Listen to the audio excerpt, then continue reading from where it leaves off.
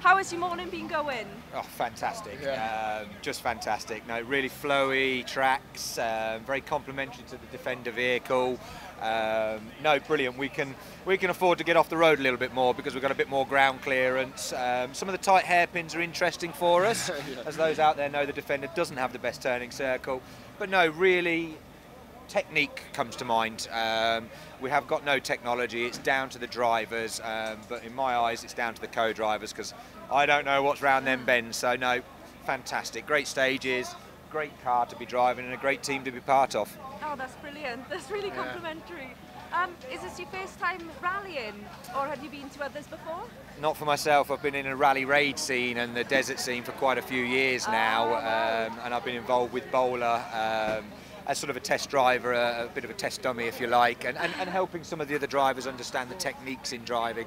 Um, one would say since I was born, I've been into off-roading, whether it's uh, rallying or, or, out and out Land Rover off-roading.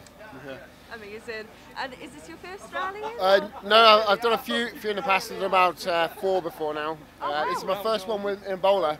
Um, so um, I've driven alongside, uh, I've co-driven in a different car alongside Edd uh, on previous events. All right. oh, so you Um, guys are pretty much a good team then? Yeah, yeah, good friends, good team. Oh. Yeah, hopefully.